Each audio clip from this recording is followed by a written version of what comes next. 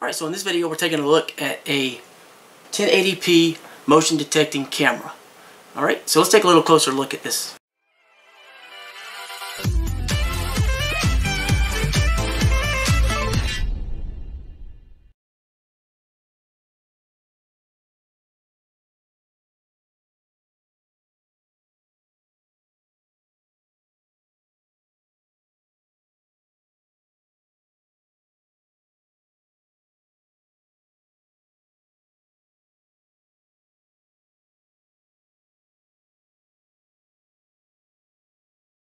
Okay, so we're taking a look at a camera. It is 1080p.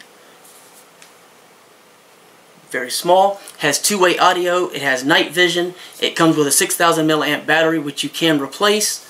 And it also has a really nice, unique ability to be recharged via solar power with the included solar panel which we have right here. It feels really, really nice as far as quality goes. It doesn't have that cheap plastic feel to it at all. And it actually kind of has this like simulated look of carbon fiber, I assume. I don't think it's actually carbon fiber. There's the box that it comes in. Have your user guide so that you can go ahead and get that set up. It uses AI WIT as far as the application for viewing the video and everything. And this is cloud-based storage that lasts about, I think, seven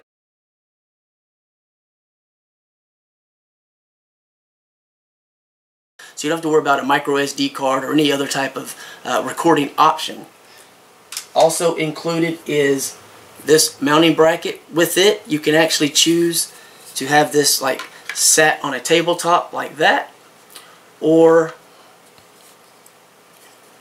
you could mount it flat against a wall like that or you could mount it over an overhang of some sort like that. So you have a multiple uh, options in terms of the mounting capabilities. And this portion here is padded on both sides so you don't have to worry about whatever you mounted it to. It won't scratch or damage the item. Alright. You have four, I'm say mounting templates, mounting hardware, and that's going to be for both the camera and the actual solar panel both.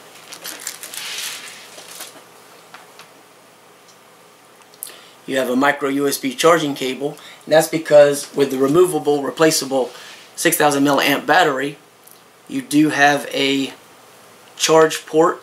It also even talks about the charging as far as the light indicator so you know when it's fully charged and that's going to make it really simple for you to use.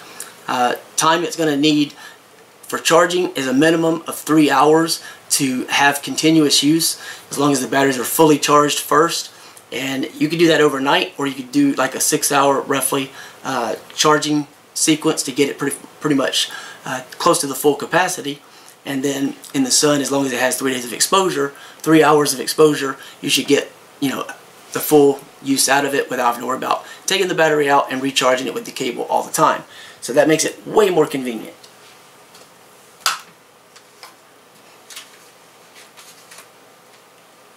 Now this is the little mounting bracket for the actual solar panel. And on the unit here on the back you can see the solar panel connection here and it has a nice rubber uh, piece on the actual plug so that's going to fill that in. So water resistance snow things of that nature won't be a problem. You have a button right there. You have your mounting portion here and on the bottom you just screw on and off drop your battery in and then of course on the front you have your camera, your microphone, your speaker, your motion detection, all the different sensors and such. As far as the battery goes, it goes in only one way, locks into place, so it's very, very simple. Alright, so right there you can see the Aiwit app. So we'll go ahead and open that app up. And we're going to go ahead and get this login set up and then I want to show you more of the actual functionality on pairing this device with the camera. Then I'm going to show you the installation of the camera outside and you can see what to expect. Alright, so we're going to use a screen recorder so I can show you the actual app and the process involved. So we're going to open our app. If you haven't already registered, you will need to do that first. After you've done that, this is the screen that you will come to. And we're going to uh, add device, as you can see in the center here. Choose our camera, battery, camera 2. And we're going to make sure and insert the battery. And it says press and hold Entering to set up. pairing mode. All right, so the red light is flashing, so we're going to do next. Is it flashing? Yes, it is. We will adjust this for our network. And our password, you can you'll enter that now, but I've already done so so that it'd be obscured. Next, we're going to confirm. Hold the camera in front of the QR code. Give it a moment to register. QR code scan finished. Waiting for Wi-Fi connection. All right. So obviously that's successful and it is connecting to Wi-Fi. Wi-Fi connected. Waiting for device registration. All right. Device registration successful. And successful, so confirm. All right. So now you can see we have the option to do uh, talking, you know, through the camera. We can rotate it, take screenshots. Uh, we can also go through, we can do a live view. Rotate the uh, device. And we have our playback. So the event that we had, uh, some kind of event we wanted to record.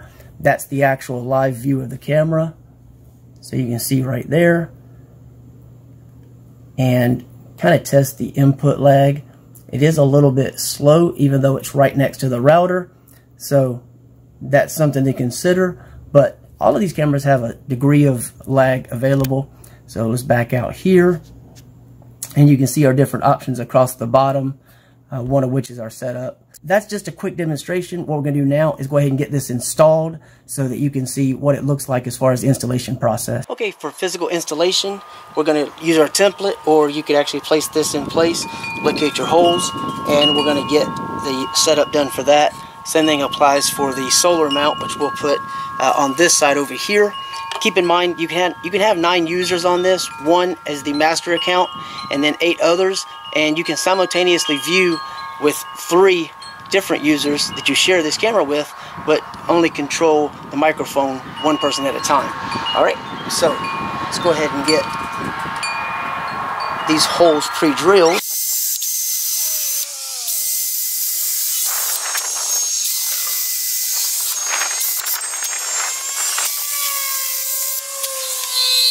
All right, so now we can go ahead and place this in place and screw it down. We'll do that in just a moment. I'm go ahead and get the other uh, solar panel portion set up and we'll get right back to it. All right, so our, our solar panel mount, we're gonna do the same thing, mark our holes, and we're gonna have this lined up so that we can mount the panel in a place that'll get sun. Take our drill, and make a little mark in the wood there. Do the same for the bottom.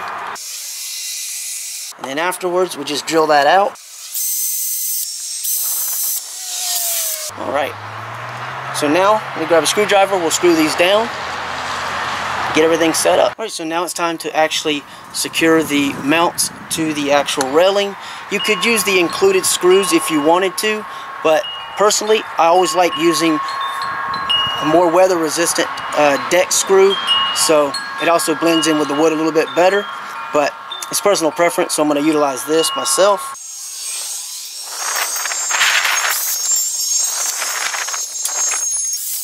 Alright, it's a bit awkward there, but you get the idea.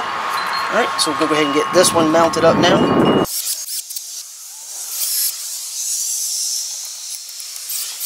Alright, so now it's as simple as grabbing our solar panel and our camera. Use the screw that is included to secure the camera to the mount.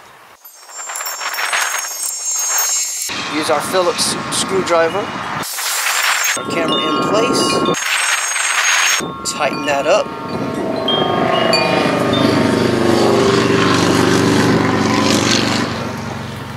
Make sure it's set where you want. Make sure this is fully inserted. That'll give you the waterproof resistance you need. Alright.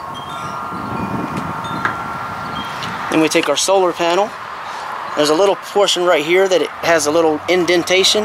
That's going to line up with the little clip on the actual mount. Slide this into place. And it'll kind of lock into place. And then we just adjust our panel so water can run off. And then we just tidy up the cable and that's pretty much it. Information below the video and there'll be a link below the video. The information below the video will give you a lot of details about the camera that we didn't cover so you can see all the different specifications. Thanks.